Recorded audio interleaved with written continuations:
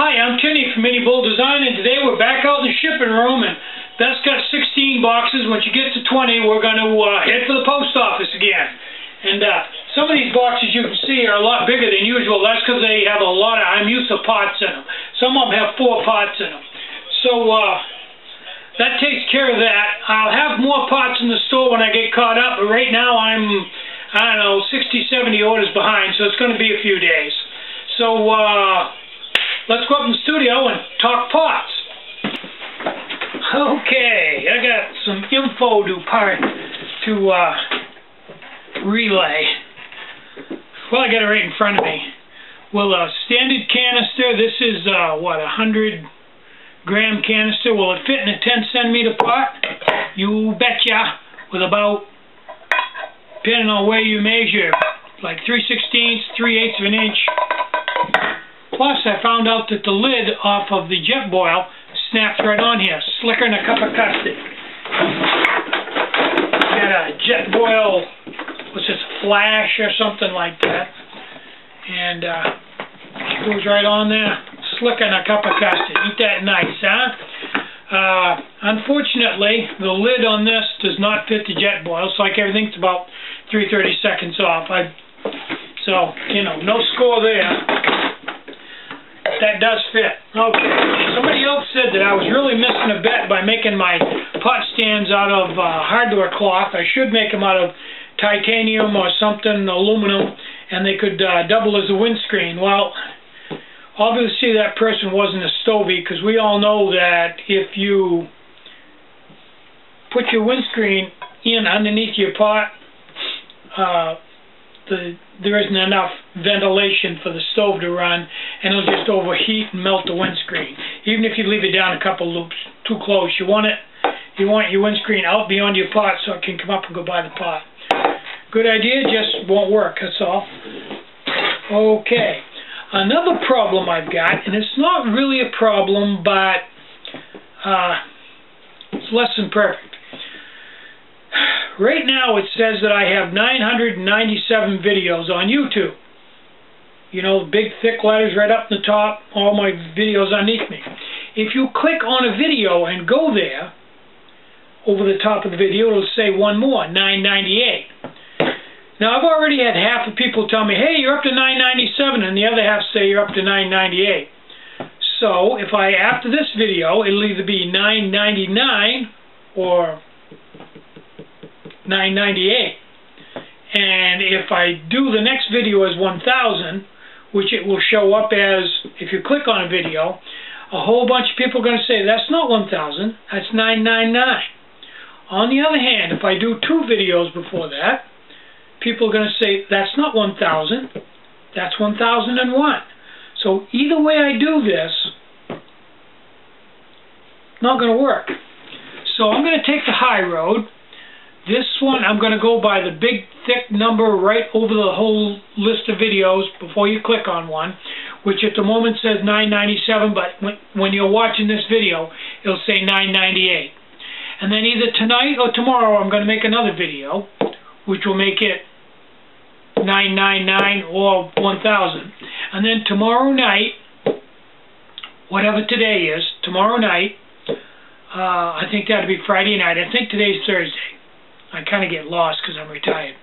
Friday night, probably around 4 o'clock, 5 o'clock, I will post the video where I draw for the stoves. Now it'll probably say 1000 when you click on the on the videos, but if you click on a single video, it'll probably say 1001. But I'm going to take the high road and, and make sure that I'm at least at 1000 or 1001. So if you that didn't confuse you, I can talk some more and confuse you some more, but Friday night, 1000, 1001, that's when I'll draw the stones. Okay. uh, I've been building all day, and I think I'm on... Uh, Nine ninety five. Uh, it's a blur. I no, I don't think it's that high. I think it might be uh, 900. Yeah, I think uh, 900 and there's probably 970, 908. So I'm anyway, I'm about 65, 75 orders behind right now. I don't, and, and I can't figure it out because I'm not stocking the store, but I'm not catching up. I just, just not catching up. Uh, I will eventually, but I have vowed that I won't put any more Imusa pots in for obvious reasons until I catch up.